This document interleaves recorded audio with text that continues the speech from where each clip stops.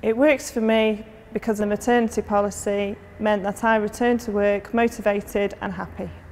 When I told them that I was pregnant, obviously with the nature of my job, I could no longer rise the fire engines.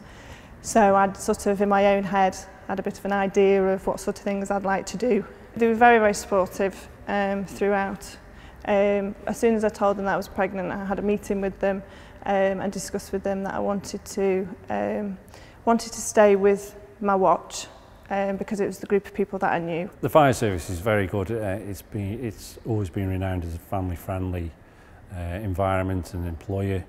Um, if, if you have any problems with childcare or, or issues relating to this yes, there was always an open door for you to go and speak to your line manager, who, if possible, will will work around it and, and and come up with the best possible solution for both the employer and the employee. For me to be off for that full um, 12 months, it just gives you that time to adjust to a huge event that's gone on in your life. It's a big change, so it gives you that time to put things into place and um, to work out the best solutions for, for your little ones.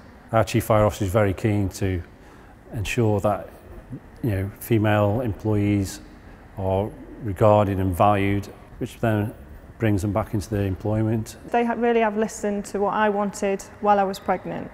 Um, and I had a really good stress-free pregnancy, let's say. And I honestly do believe that that's a lot of being able to do the things that I wanted to do and, and that were allowing me to do that. I honestly feel supported all the way through.